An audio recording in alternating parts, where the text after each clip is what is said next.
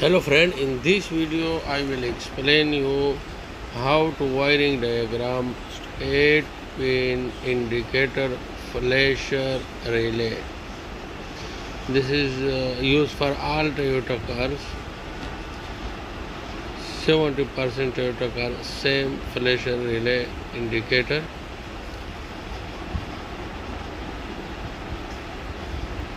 Toyota Corolla, Toyota Avalon, Toyota Camry.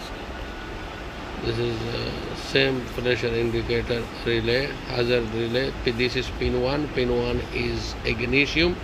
When you on the switch, pin 1 is coming B positive.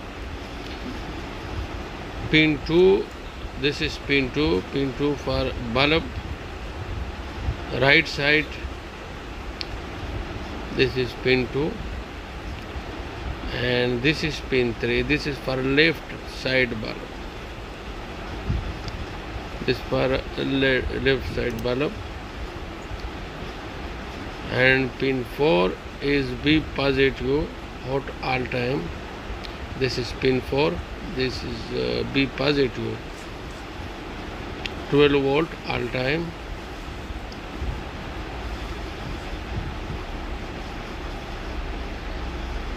pin 5 pin 5 is signal ground signal from switch.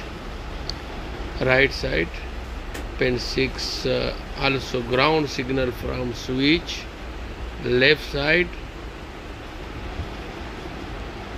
And pin 7 is permanent ground.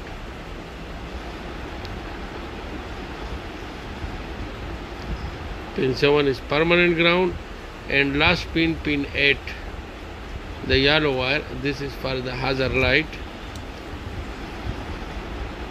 This for the hazard light the last one pin number 8 this indicator flasher you can fix any car any toyota car or any car. If you know the wiring diagram you can fix any car.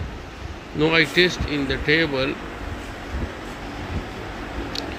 I connect the pin 1 and pin 4 to B positive. And pin 7 to B negative. This is B negative.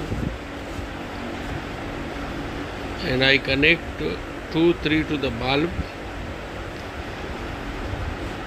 And uh, this is the hazard. This is the bulb. Okay now I give negative with the help of the tester in the hazard light. When I connect, you see the hazard light is on. Very simple, very easy. You can fix, you can test this uh, very easy.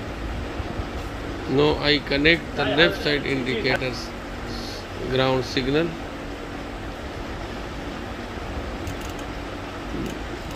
This is left side indicator.